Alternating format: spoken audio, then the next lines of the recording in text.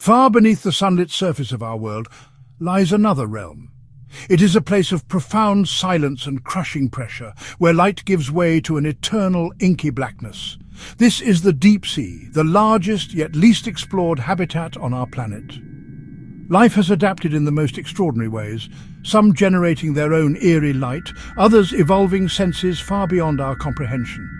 This is a world governed by rules we are only just beginning to understand, a frontier not of space but of depth, holding secrets that have eluded humanity for millennia. The colossal squid, Mesonychoteuthis hamiltoni, does not simply live in the deep, it is a creature born of it. Its home is the frigid, turbulent waters of the Southern Ocean. From around 300 metres down to over 2,000 metres, Bathyal, the twilight zone, the abyss. For decades, our only proof came from remains in sperm whale stomachs, indigestible parrot-like beaks, a carcass washed ashore, or a fleeting ghostly image captured by a deep-sea camera. It lives almost entirely beyond our reach, haunting the deepest, coldest waters of the Southern Ocean. Yet a few specimens preserved and studied give us tantalizing glimpses of this phantom. This makes the colossal squid one of the most elusive large animals on Earth.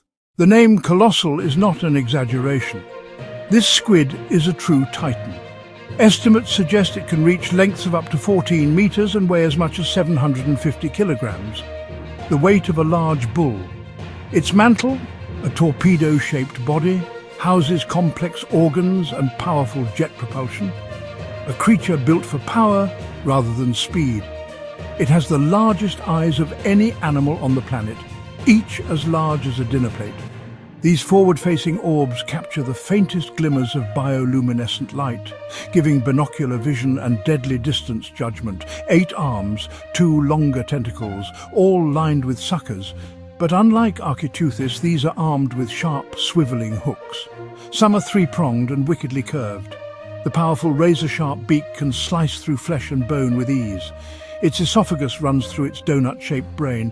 Food must be pulped finely to avoid catastrophic damage, a rather precarious way to have a meal. For centuries, sailors have told stories of monstrous, many-armed creatures rising from the depths to drag ships and their crews down. Tales spoke of a beast so vast it could be mistaken for an island. One of the most compelling pieces of evidence comes from sperm whales, their bodies bearing circular scars and punctures. These are the battle wounds left by powerful suckers and hooks. In 2003 and again in 2007, fishing vessels in the Ross Sea hauled up large specimens, giving scientists rare opportunities to study them. One famous specimen, a female later housed at Te Papa, was preserved and examined in detail. Modern captures bridge the gap between ancient legend and science. The monsters of old revealed as flesh and bone. A modern kraken, photographed, studied and still profoundly awe-inspiring. Our understanding of the colossal squid has been a slow, painstaking process, like assembling a jigsaw with most pieces missing. For decades, knowledge came mostly from beaks pulled from whales and a few tentacle fragments. The capture and careful preservation of intact specimens in the 21st century revolutionized our knowledge. Statolith growth rings allow age estimates. Dissections revealed small gills and a slow metabolism. These traits fit a sit-and-wait predator, drifting motionless to conserve energy and ambush prey like Patagonian toothfish. Genetic analysis places it as the sole member of its genus, an ancient, unique lineage, and yet every answer opens new questions. How do they find mates? What is their range? The science remains a detective story. The primary reason the colossal squid remains a mystery is the sheer inaccessibility of its habitat. Hurricane-force winds, mountainous waves, and drifting sea ice make research perilous and expensive. Even if you reach the depths, absolute darkness, freezing temperatures and crushing pressure await. Satellite tagging, a staple for whales, is impossible for an animal never needing to surface. ROVs and AUVs are slow, their bright lights can blind or frighten creatures adapted to dim bioluminescence. We are searching for a creature of darkness using tools of light, often with the effect of sending it away. When a squid dies, its buoyant body may briefly reach the surface, then be scavenged, decompose or sink before discovery.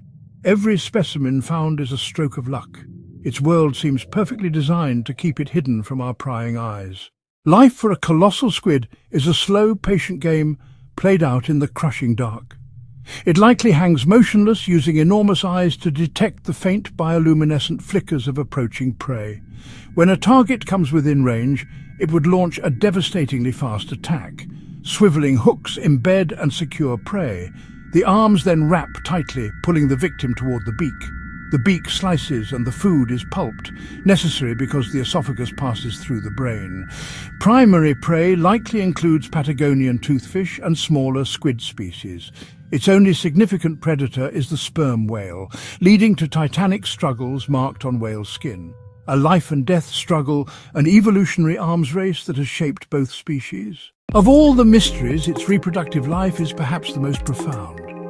How do these solitary giants find each other? The most famous female was filled with thousands of translucent eggs, suggesting high fecundity. The male possesses a penis, rare among squids, hinting at a different mating strategy.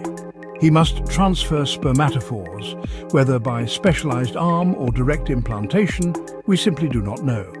Females may release vast gelatinous egg masses, offering some protection to developing embryos.